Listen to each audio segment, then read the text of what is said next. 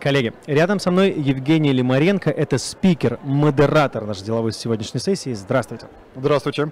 Давайте о теме нашей сессии.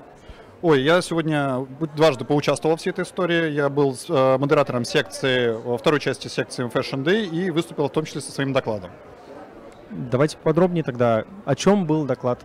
Э, доклад, на самом деле, для бизнеса довольно скучный. Я рассказывал именно о том, как работать бизнесу, какая, какой ландшафт IT-систем существует в fashion-ритейле. И старался максимально простыми словами рассказать коллегам из бизнеса, какой набор программ, каких даже бизнес-приложений необходим компании и для чего абсолютно скучно, я так понимаю, максимально must-have приложения, которые сделают бизнес максимально эффективным.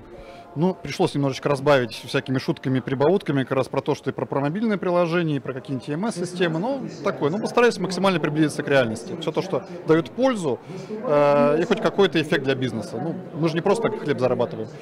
Скажите, вы говорили о тех решениях, которые уже давно являются must-have, и все про них знают, просто вы углубились в эту тему, или все-таки для кого-то из участников рынка, в принципе, ваш доклад был новостью, и они не использовали тех решений, которые вы предлагали? Ну, в первую очередь, я говорил именно о классах систем, потому что э, задача была показать, какие классы и виды систем существуют. Мы не говорили про названия, мы не говорили про, тесто, про стек технологий, мы говорили про то, какие виды, ну, например, там CRM, VMS, ERP, что нужно и для чего. Для какой-то категории участников это понятно и известно, ну, те же для айтишников, для специалистов бизнес-приложениях.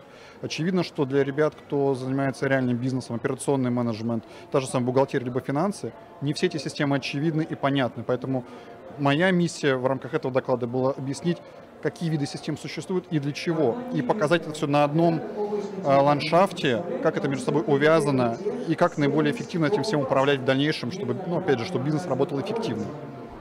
Скажите, пожалуйста, о трендах э, последних э, месяцев. Какие-то, может, есть наметились очень яркие, может быть, какие-то ушли в тень? Ну, естественно, к сожалению, боль текущая всех ритейлеров и всего бизнеса на территории, на территории России сейчас это является импортозамещением. Мы отрабатываем сценарий выхода крупнейших э, франчей, крупнейших вендоров любого софта, чтобы мы понимали, что нужно делать, как нужно делать при отключении того или иного сервиса. Тем не менее, мы также продолжаем говорить о том, что нам нужно двигаться в цифру, нам нужно собирать правильные данные, нам нужно с ними правильно работать для того, чтобы правильно понимать, кто наши клиенты, работать с нашими товарами, э, считать наши логистические цепочки, чтобы они были максимально эффективны.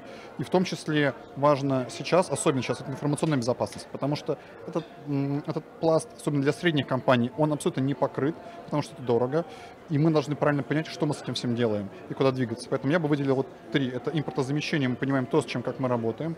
Это информационная безопасность, потому что внутри и внешний контур существует, и надо с ним уметь работать. И третье, все-таки digital, как мы работаем с данными, как мы им управляем, куда ведем и какие продукты на основании данных получаем.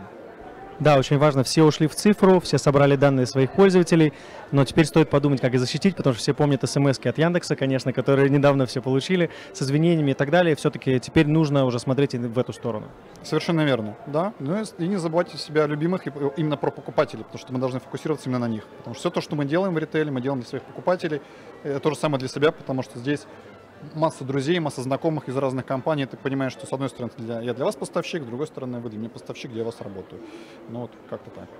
Давайте думать друг о друге, и все будут в максимальном плюсе. Спасибо большое. Спасибо огромное. Всего доброго. Спасибо.